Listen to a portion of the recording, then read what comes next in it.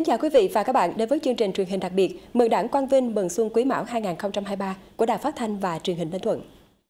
Thưa quý vị và các bạn, chúng ta đang ở trong những thời khắc cuối cùng của năm nhâm dần và hân hoan chào đón năm mới Quý Mão 2023, năm tượng trưng cho sự kiên trì bền bỉ và thịnh vượng. Một năm với quyết tâm đổi mới, khát vọng vươn lên, chúng ta sẽ đón một năm mới với những bước tiến xa hơn, với những thành tựu rực rỡ hơn. Chương trình truyền hình đặc biệt Mừng Đảng Quang Vinh, Mừng Xuân Quý Mão 2023 hôm nay sẽ phản ánh toàn diện bức tranh kinh tế xã hội Ninh Thuận đạt được trong năm 2022, không khí đón giao thừa tại quảng trường 16 tháng 4, Trung tâm Văn hóa huyện Ninh Sơn và chương trình nghệ thuật và bắn pháo hoa chào năm mới Quý Mão 2023. Chương trình được truyền hình trực tiếp trên kênh NTV từ 19 giờ 45 phút ngày 21 tháng 1 đến 0 giờ 15 phút mùng 1 Tết ngày 22 tháng 1 năm 2023. Trước hết, mời quý vị và các bạn đến với chương trình Thời sự cuối năm.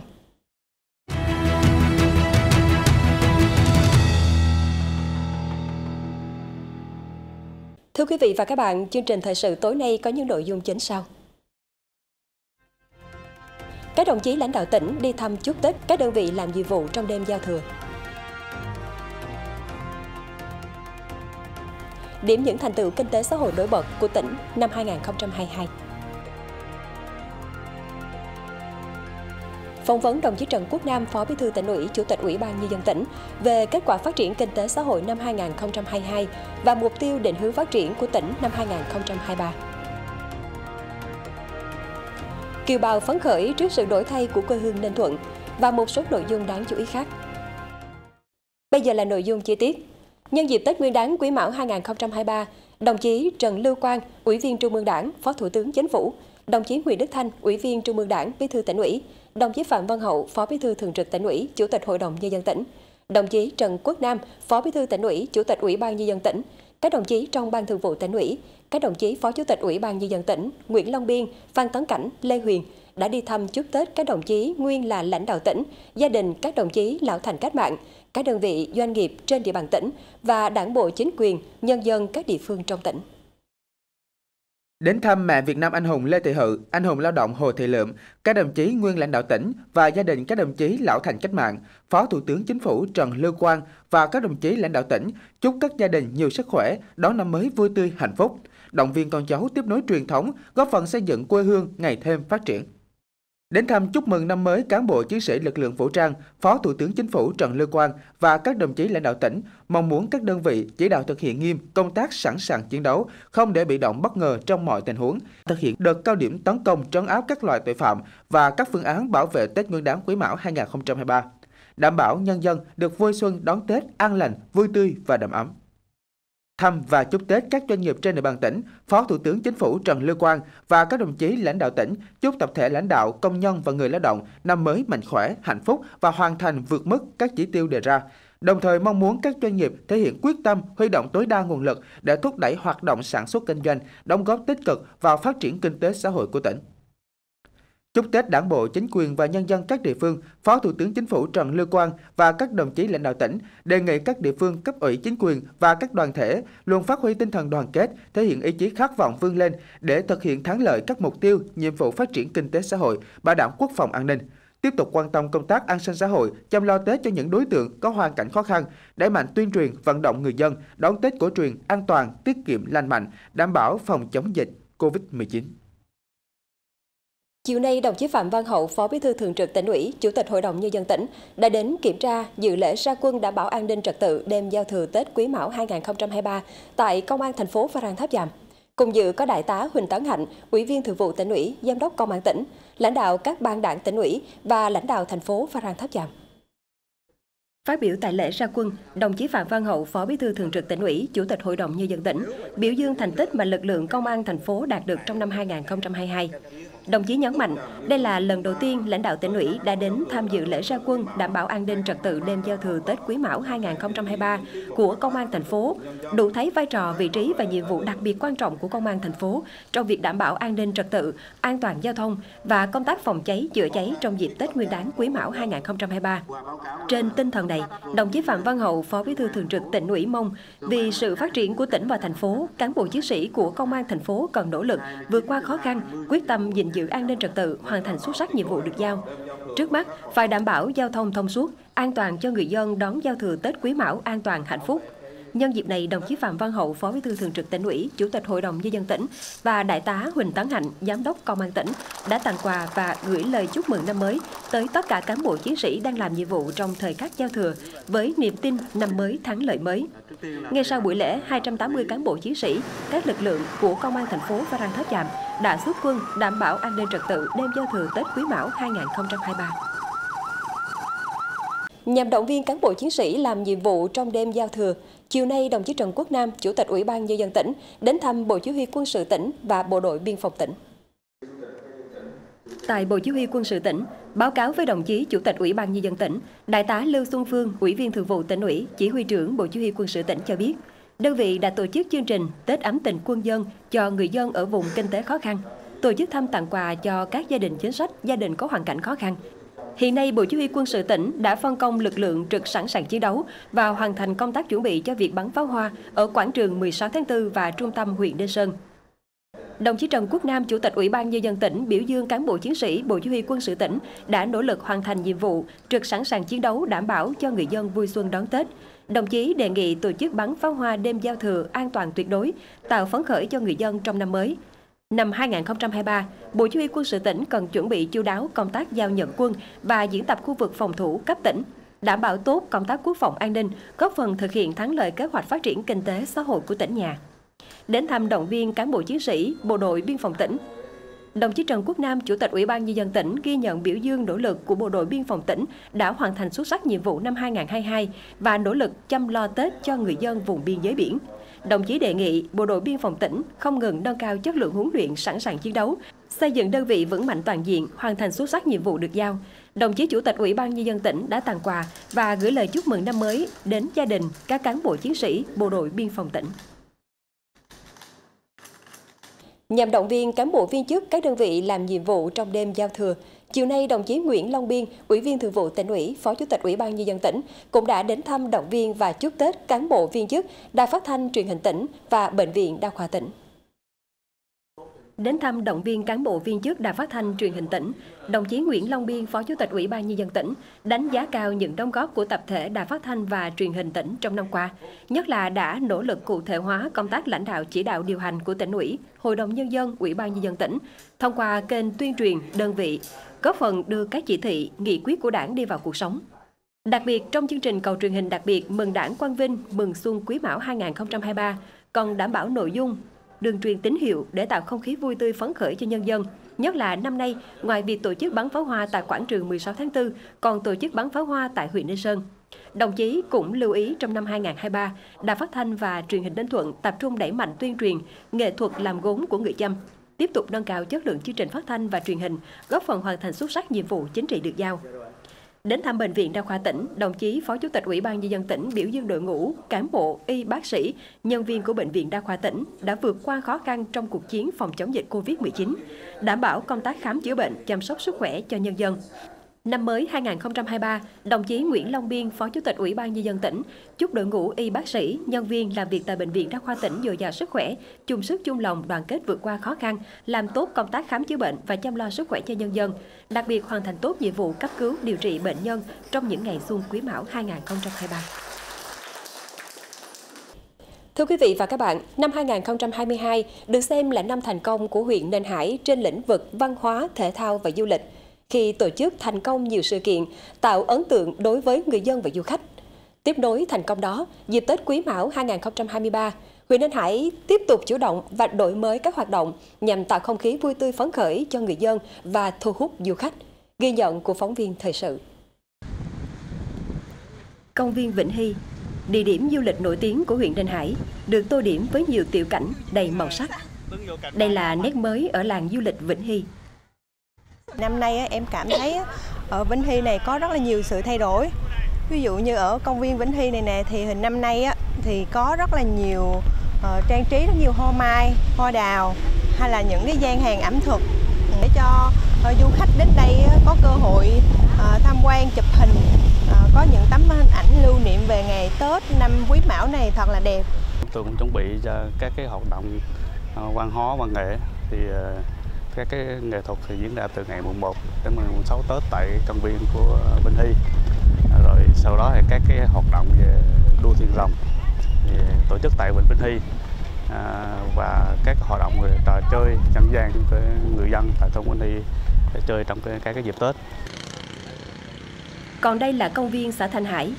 được địa phương trang trí vừa mang đậm chất của vùng biển, vừa phản ánh mảng nông nghiệp đặc thù của địa phương. Đây là một trong chín điểm tham quan mới lạ được huyện Đinh Hải giao cho chính xã thị trấn triển khai nhằm tạo không khí rộn ràng của mùa xuân và tạo thêm nhiều điểm vui xuân phục vụ người dân, du khách. Thì qua sự chỉ đạo của huyện thì đến nay thì địa phương cũng đã, cơ bản đã hoàn thành những cái nội dung mà theo tinh thần chỉ đạo của huyện. Thì đến đây thì ờ, cũng đã trang trí là ho rồi ờ, những cái tiêu cảnh cơ bản, rồi điện đài cho bà con đủ điều kiện để để mà tới chụp hình với mong muốn tạo không khí vui tươi phấn khởi cho nhân dân vui xuân đón Tết, qua đó tạo ấn tượng cho du khách về một Ninh Hải năng động, khát vọng vươn lên. Dịp Tết Nguyên đán Quý Mão năm nay, huyện Ninh Hải đã chuẩn bị hơn 20 hoạt động văn hóa thể thao để phục vụ người dân, du khách. Trong đó, điểm nhấn là đêm nhạc chào xuân mới diễn ra ở trung tâm huyện vào 30 Tết. 30 gian hàng ẩm thực, gian hàng ô cóp tại hai thôn Vĩnh Hy, xã Vĩnh Hải và thị trấn Khánh Hải cùng chương trình nghệ thuật diễn ra hàng đêm từ mồng 2 đến mồng 5 Tết tại trung tâm huyện. Lễ hội đua thuyền truyền thống Vĩnh Hy diễn ra vào mồng 2 Tết. Tất cả sẽ mang đến một không khí rộn ràng vui tươi phục vụ người dân, du khách. Với một cái kết quả và hiệu ứng rất lan tỏa tại cái tuần lễ lướt với nhiều quốc tế và các sự kiện văn hóa Ninh Hải vừa qua, à, thì đến giờ này là Ninh Hải vẫn sẵn sàng các cái điểm đón du khách đến cho nên là các địa phương và đặc biệt là Vĩnh Hy, à, Biển Ninh Chữ à, đã tạo một cái không khí hết sức là thông thoáng, xanh, sạch, đẹp, các lĩnh vực an toàn về vệ sinh môi trường, an toàn thực phẩm, an ninh trật tự để mà đón khách đến. Ngoài ra là các điểm này cũng tập trung đầu tư trang trí rất là đẹp để mà sẵn sàng và có một cái đội ngũ sẵn sàng đón khách để mà tư vấn hướng dẫn khách trong những dịp Tết.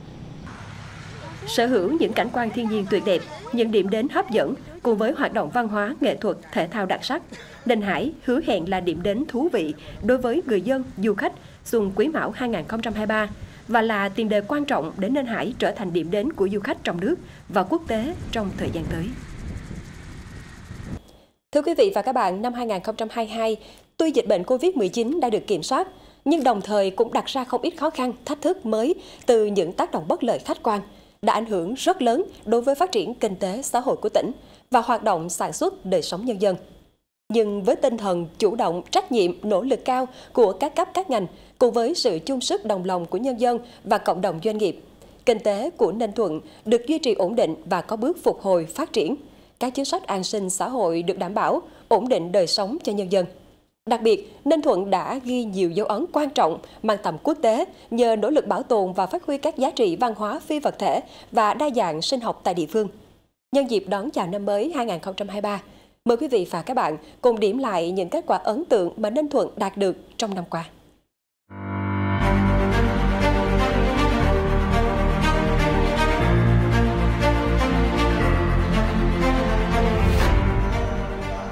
Khẳng định là Ninh Thuận là một cái mảnh đất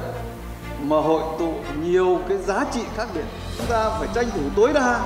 cái tiềm năng khác biệt, cơ hội nổi trội lợi thế cạnh tranh của tỉnh chúng ta để chúng ta thu hút nguồn lực để chúng ta phát triển.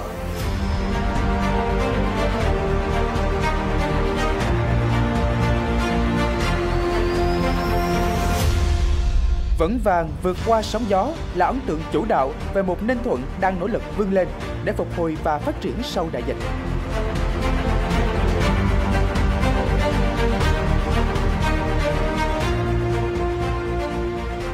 Khởi đầu năm 2022 trong bối cảnh dịch bệnh Covid-19 đang bùng phát mạnh trên cả nước. Nhưng với kinh nghiệm bản lĩnh có được xuyên suốt 2 năm chống dịch cùng những giải pháp chiến lược khoa học, linh hoạt, sáng tạo, Ninh Thuận đã vững vàng chuyển trạng thái từ mục tiêu không có Covid-19 sang thích ứng an toàn, linh hoạt, kiểm soát hiệu quả dịch Covid-19, đảm bảo thực hiện mục tiêu kép vừa bảo vệ sức khỏe, tính mạng của nhân dân, vừa khôi phục phát triển kinh tế xã hội.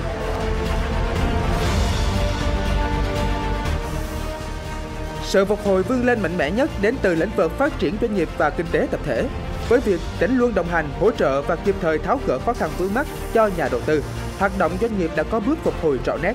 Trong năm có 510 doanh nghiệp thành lập mới với tổng vốn đăng ký 14.852 tỷ đồng, tăng 39,5% số doanh nghiệp và tăng 5,02 lần số vốn so với cùng kỳ. Số doanh nghiệp quay trở lại hoạt động tăng 42,3%. Hàng trăm doanh nghiệp tiếp tục mở rộng quy mô, tăng năng lực sản xuất, nâng tổng số doanh nghiệp đang hoạt động lên 4.011 doanh nghiệp với tổng vốn 95.000 tỷ đồng, tạo nên nhịp đập mạnh mẽ cho nền kinh tế.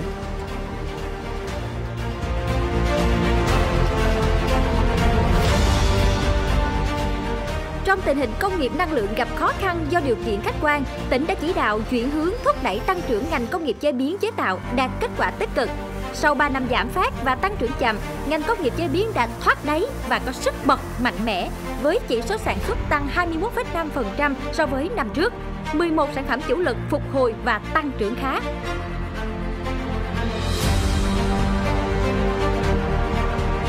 Tận dụng cơ hội ngành du lịch mở cửa trở lại, Ninh Thuận đã đẩy mạnh các giải pháp nhằm kích cầu thu hút phát triển du lịch. Hàng loạt hoạt động xúc tiến quảng bá du lịch tại Hà Nội, Thành phố Hồ Chí Minh, Quảng Nam đã mang lại hiệu quả cao trong việc thu hút du khách trong nước và quốc tế. Số lượng khách du lịch đến Ninh Thuận cao nhất từ trước đến nay với 2,4 triệu lượt khách, tăng 2,1 lần so với cùng kỳ, vượt 26,3% kế hoạch. Tổng doanh thu ngành du lịch đạt 1.813 tỷ đồng, vượt 29,5% kế hoạch và tăng 2,4 lần so với cùng kỳ, đóng góp quan trọng vào tăng trưởng GDP của tỉnh.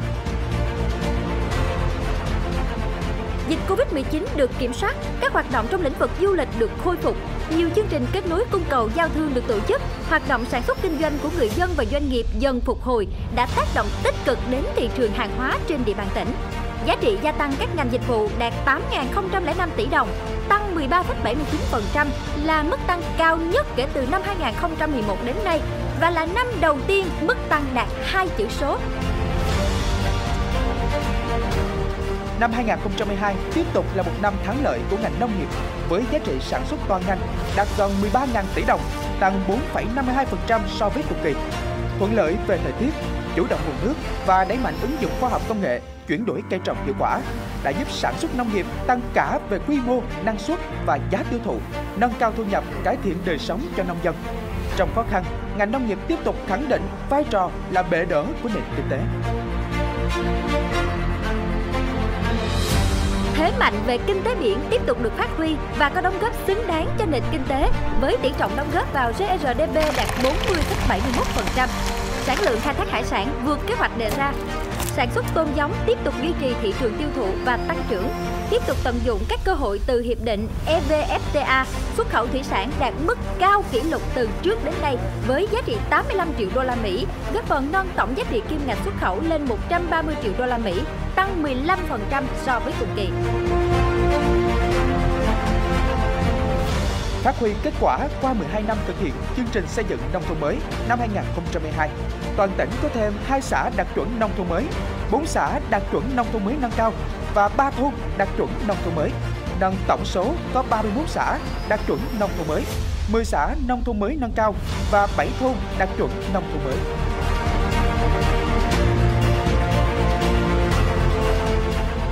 Một trong những dấu ấn quan trọng trong năm 2022 là sự kiện Bến Cảng 1A thuộc dự án Cảng biển tổng hợp Cà Ná đã hoàn thành và đưa vào khai thác thử nghiệm, mở ra cơ hội giao thương trung chuyển hàng hóa của vùng Nam Trung Bộ với toàn bộ khu vực ASEAN. Bến cảng 1B và các dự án trọng điểm động lực khác như đường nối từ cao tốc Bắc Nam với quốc lộ 1A và cảng biển tổng hợp Cà Ná, đường đôi phía Nam vào thành phố Phan Trang Tháp Chàm, tuyến đường nối từ thị trấn Tân Sơn, huyện Ninh Sơn đi ngã tư Tà Năng, huyện Đức Trọng, tỉnh Lâm Đồng, tuyến đường Văn Lâm, Sơn Hải, dự án môi trường bền vững thành phố Phan Rang Tháp Chàm, dự án đầu tư hạ tầng khu công nghiệp Du Long, vân vân cũng đang được tập trung đẩy nhanh tiến độ, tạo đà cho sự phát triển trong tương lai.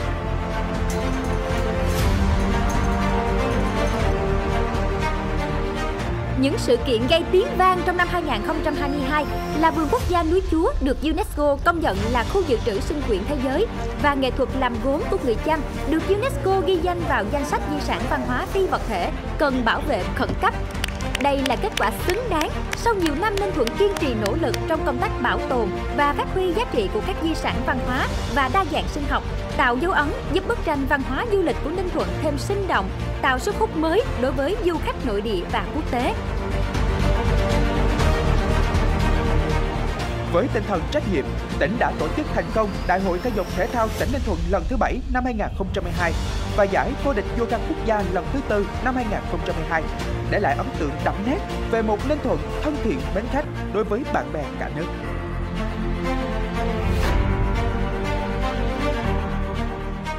Những điểm sáng đầy tự hào đã tạo nên bức tranh đầy màu sắc về một Ninh Thuận giàu khát vọng và ý chí vươn lên, đang chuyển mình đi lên cùng đất nước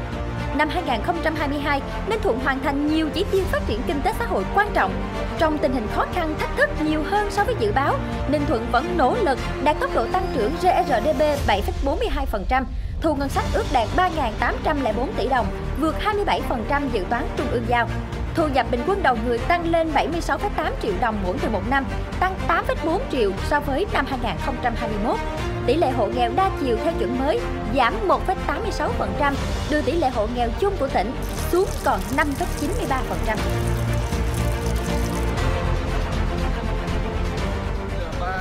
Khép lại một năm đầy khó khăn, đồng thời mở ra một tương lai tươi sáng và rạng rỡ hơn, tự hào hơn 30 năm xây dựng và phát triển với những giá trị kết tinh từ truyền thống lịch sử văn hóa, với những thành tựu to lớn trên tất cả các lĩnh vực kinh tế, văn hóa, xã hội, quốc phòng, an ninh. Với ý chí và khát vọng vươn lên mạnh mẽ là nền tảng vững chắc để Ninh Thuận tiến nhanh trên chặng đường phát triển mới, khẳng định vị thế ở khu vực và cả nước.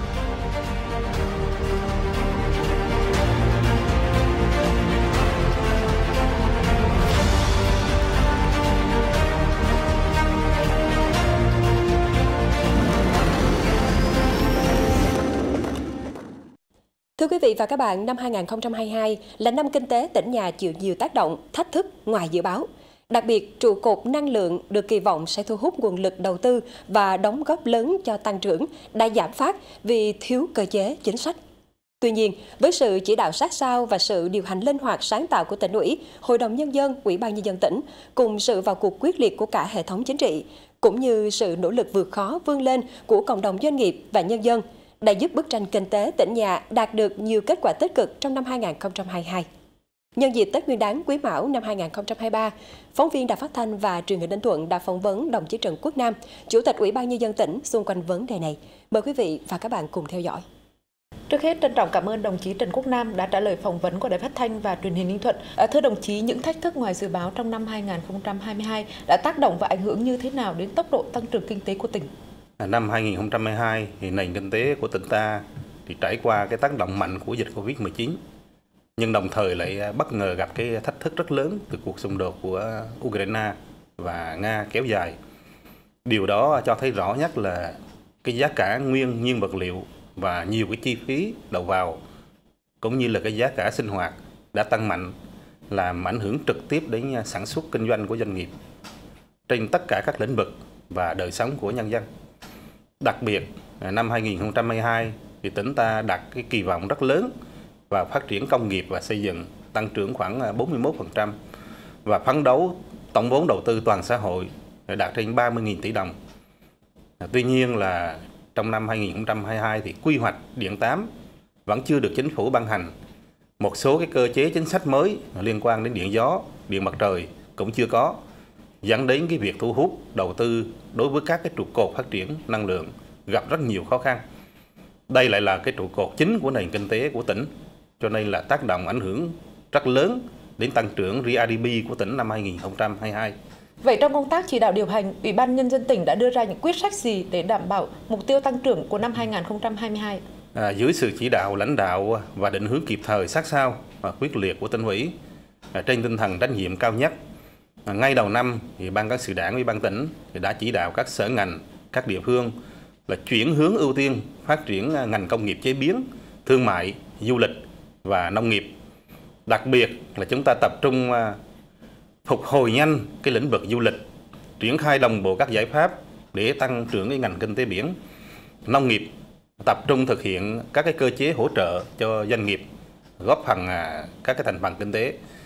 đôn đốc và tiến độ các cái dự án trọng điểm, dự án động lực và đặc biệt là giải ngân các cái nguồn vốn đầu tư công để bù đắp cho cái khó khăn của ngành năng lượng. Xin đồng chí cho biết những kết quả nổi bật của tỉnh trong năm 2022 là gì? Phải nói rằng là năm 2022 đấy, nhìn nhận một cách khách quan thì chúng tôi đánh giá là cái kết quả nổi bật nhất đó là chúng ta đã phát huy được cái sức mạnh đoàn kết của cả hệ thống chính trị, các ngành, các cấp cùng cộng đồng doanh nghiệp và nhân dân để vượt qua một năm rất nhiều những khó khăn, biến động, thách thức, bất ngờ ngoài cái dự báo của chúng ta. Thứ hai là chúng ta tổ chức thành công lễ kỷ niệm 30 năm tái lập tỉnh và đón nhận huân chương lao động hạng nhất cũng đã được Thủ tướng đánh giá rất cao. Thứ ba là về tăng trưởng kinh tế, thì thu ngân sách chúng ta đạt trên 3.800 tỷ đồng, hoàn thành vượt chỉ tiêu Hội đồng Nhân dân tỉnh giao. Tốc độ tăng trưởng GDP của chúng ta gặp khó, nhưng cái giá trị sản xuất và giá trị gia tăng của các ngành du lịch, nông nghiệp, công nghiệp, xây dựng, dịch vụ cũng đều tăng trưởng trên 4% trở lên so với năm 2021. Trong đó thì à, phải nói đến ngành nông nghiệp đã phát huy được cái vai trò bể đỡ của nền kinh tế. Ngành du lịch thì cũng tạo được cái sức bật và cái sự phục hồi nhanh sau dịch Covid-19. Đặc biệt cái tỷ lệ hộ nghèo toàn tỉnh chúng ta đã giảm sâu đến 1,86%. Và thứ tư là trong năm chúng ta đã đưa một số cái dự án trọng điểm đi vào hoạt động. Ví dụ như dự án cảng biển tổng hợp Cà Ná giai đoạn 1, dự án du lịch cao cấp sân golf Bình Tiên, dự án tuyến đường đôi phía Nam vào thành phố Phan Rang Tháp Chàm, vân vân. Bên cạnh đó thì nhiều dự án trọng điểm về giao thông, về đô thị, về du lịch cũng được khởi công đẩy nhanh tiến độ tạo cái tăng trưởng cho năm 2023. Một dấu ấn quan trọng là quy hoạch của tỉnh thời kỳ 2021-2030, tầm nhìn đến 2050 cũng vừa được Hội đồng Thẩm định Quốc gia thông qua để trình Thủ tướng Chính phủ phê duyệt. Đây là một cái nhiệm vụ đặc biệt quan trọng vì quy hoạch được phê duyệt thì sẽ dựa vào đó để tỉnh tập trung thu hút nguồn lực phát triển trong năm 2023 và những năm tiếp theo. Và thứ năm, dù khó khăn nhưng trong năm chúng ta đã tổ chức thành công rất nhiều sự kiện lớn về văn hóa, thể thao, xúc tiến đầu tư, thương mại ở cả lĩnh vực trong tỉnh và cả ngoài tỉnh. Qua đó thì đã giới thiệu, quảng bá, kích cầu tăng trưởng, đồng thời là tạo ra một cái khí thế mới, thi đua sôi nổi trong toàn đảng, toàn dân và toàn quân. Quốc phòng an ninh, chính trị trật tự an toàn xã hội cũng được giữ vững. Thưa đồng chí, năm 2023 là năm bản lề, là năm quan trọng để đảm bảo thực hiện thắng lợi mục tiêu phát triển kinh tế xã hội 5 năm theo nghị quyết Đại hội Đảng bộ tỉnh lần thứ 14, nhiệm kỳ 2020-2025. Vậy đồng chí cho biết Ủy ban Nhân dân tỉnh đã đề ra những nhiệm vụ trọng tâm và giải pháp gì để đạt mức tăng trưởng từ 10 đến 11%? À, năm 2023 thì à, được nhận diện sẽ là một cái năm tiếp tục gặp nhiều khó khăn và thách thức mới, à, nhiều hơn năm 2022 Tuy nhiên, đây là cái năm bản lề của kế hoạch 5 năm. Do vậy, thì tỉnh quyết tâm giữ cái mức tăng trưởng từ 10 đến 11%. Để đạt được cái mức tăng trưởng này, Ủy ban nhân tỉnh đã đặt ra phương châm hành động của năm 2023 đó là đoàn kết, kỷ cương, quyết liệt, linh hoạt, sáng tạo, hiệu quả. Đồng thời, Ủy ban tỉnh cũng đã giao cho các ngành là 30 cái nhiệm vụ trọng tâm đột phá và 187 cái nhiệm vụ chủ yếu thường xuyên cụ thể cho từng sở ngành và địa phương. À, tôi đề nghị là các sở ngành và các địa phương phải bám sát chính cái nhiệm vụ chủ yếu, tám cái nhóm giải pháp cụ thể đã được xác định để tổ chức triển khai thực hiện. Trên tinh thần cái chỉ tiêu cao, chúng ta phải hành động quyết liệt hơn để hoàn thành các cái chỉ tiêu, nhiệm vụ từ xa và từ sớm. Nhân dịp đón xuân à, Quý Mão năm 2023, với cái niềm tin mới, khí thế mới, động lực mới, chúng tôi tin với sự đoàn kết, năng động, sáng tạo, quyết tâm của cả hệ thống chính trị, cộng đồng, doanh nghiệp và nhân dân trong tỉnh, chúng ta sẽ tranh thủ được mọi cái thời cơ thuận lợi, vững vàng vượt qua mọi khó khăn, thách thức và thực hiện thắng lợi các cái nhiệm vụ, mục tiêu đề ra của năm 2023, góp phần cùng với toàn đảng, toàn quân, toàn dân xây dựng quê hương Ninh Thuận ngày càng phát triển, giàu đẹp và văn minh. Một lần nữa trân trọng cảm ơn đồng chí Trần Quốc Nam đã trả lời phỏng vấn của Đài Phát thanh và Truyền hình Ninh Thuận. Nhân dịp Xuân Quý Mão 2023, thay mặt những người thực hiện chương trình, kính chúc đồng chí và gia đình năm mới hạnh phúc, mạnh khỏe và thành công. Thưa quý vị và các bạn, năm 2022, tuy dịch bệnh COVID-19 đã được kiểm soát, nhưng những tác động bất lợi từ tình hình thế giới đã ảnh hưởng không nhỏ đối với phát triển kinh tế xã hội của tỉnh, hoạt động sản xuất, đời sống của nhân dân. Với tinh thần chủ động, trách nhiệm, nỗ lực của các cấp các ngành, cùng với sự chung sức đồng lòng của nhân dân và cộng đồng doanh nghiệp, kinh tế của Ninh Thuận được duy trì ổn định và có bước phục hồi phát triển. Các chính sách an sinh xã hội được đảm bảo, đời sống của nhân dân được ổn định. Sự chuyển mình của Ninh Thuận không chỉ bằng những con số mà đã hiện diện trong bức tranh đầy màu sắc về một Ninh Thuận đang khát vọng vươn lên. Đây cũng là những cảm nhận của bà con kiều bào sau 2 năm không về quê đón Tết do dịch Covid-19. Ông Diệp Đức Cơ định cư ở Bermuda, Vương quốc Anh đến nay đã 38 năm. Mặc dù thường xuyên về nước, nhưng ông cũng không khỏi ngỡ ngàng trước sự thay đổi từng ngày của quê hương Ninh Thuận. Xưa mà chú đi thì cái đường là chỉ có cái đường thống nhất mình thôi, thế là, là nhà cửa thì không có bao nhiêu, dân số thì bao nhiêu. Bây giờ về đây thì ờ, đủ thứ đường hết, tức là từ rồi có những cái công viên ờ, 16 tháng 4 rồi nó nó, nó khang trang rồi coi như là nhà cửa là là là hai bên bên bên bên đường 16 tư là mọc ra rất nhiều. Với lại đường đi xuống Ninh Chữ đi tắm biển thì rất là là là thuận lợi. Chỉ cần đi thẳng xuống 16 tháng 4 là đã tới biển tắm rồi. Thì ờ, nói chung á, là cái đời sống như là được, được nâng cao rất nhiều. Còn đối với bà Dương A Nhật, dù đã định cư ở Canada đã hơn 40 năm, nhưng bằng tình yêu với quê hương, cứ cách vài năm bà lại cùng gia đình lại sắp xếp thời gian về Ninh Thuận đón Tết cổ truyền với người thân. Lần trở lại này, bà Nhật không khỏi ấn tượng bởi những bước phát triển của quê hương so với lần về thăm quê cách đây 4 năm. Sau 4 năm trở lại cô thấy Ninh Thuận rất là phát triển, đường xá rồi nhà đồ, cái gì cũng đẹp hết. Cô thấy Ninh Thuận rất là phát triển và tuyệt vời. Cô sẽ về giới thiệu cho những bạn bè ở Canada hay ở các nước tới ờ, thăm du lịch ở Ninh Thuận. Ninh Thuận hiện có hơn 4.000 kiều bào đang sinh sống định cư ở nước ngoài. Tuy sống xa tổ quốc, nhưng các kiều bào luôn mang trong mình tinh thần yêu nước, lòng tự hào, tự tôn dân tộc, luôn hướng về cội nguồn xứ sở. Ghi nhận biểu dương những đóng góp của kiều bào trong các hoạt động từ thiện, an sinh xã hội, giúp đỡ cộng đồng tại quê nhà. Mỗi năm vào dịp Tết Nguyên đán, Ủy ban Mặt trận Tổ quốc Việt Nam tỉnh đều tổ chức gặp mặt kiều bào và thân nhân kiều bào. Tại buổi gặp mặt, các kiều bào đều bày tỏ phấn khởi và tự hào với những bước phát triển về kinh tế xã hội của tỉnh nhà trong năm qua. À, trước kia thì không cái nhà cao tầng nhiều, mà bây giờ là nhà cao tầng rất là nhiều. Rồi à, đường xá rất là rộng, rất là thoải mái. Đi vậy đó. Như ví dụ người à, dân thì bây giờ sống ô tô rất nhiều á. Đời sống là dân rất tốt thì tỉnh Ninh Thuận mình rất phát triển rất nhanh và mỗi ngày thì mở tiến bộ rất à, tốt mình thấy như vậy thì mình cũng mừng lây Ờ, với lại nhân dân ở đây được hưởng ờ, nhiều cái ờ, tốt đẹp của nhà nước giúp đỡ dân, chẳng hạn đời sống của dân mỗi ngày nó mở thoải mái hơn hồi trước. Tự hào là một bộ phận không tách rời của cộng đồng dân tộc Việt Nam, cộng đồng người Việt Nam ở nước ngoài luôn nỗ lực vươn lên và có nhiều hoạt động hướng về quê hương. Những đổi thay tích cực của quê hương cũng chính là động lực giúp bà con kiều bào tiếp tục tăng cường hơn nữa tinh thần đoàn kết, hướng về quê hương, tích cực đóng góp xây dựng Ninh Thuận ngày càng giàu đẹp, văn minh.